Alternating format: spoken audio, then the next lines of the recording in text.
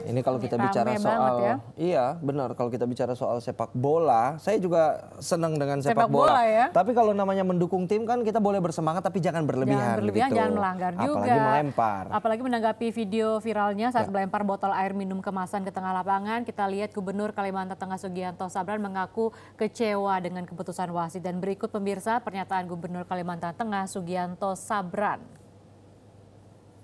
satu kali dua kali bukan membela Kalteng Putra ataupun membela membela Persib Bandung tidak ataupun Kalteng Putra tidak.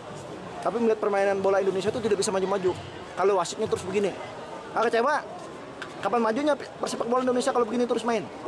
Ya, wasitnya harus diprotek semuanya. Supaya tidak ada mafia bola. Itu PSSI.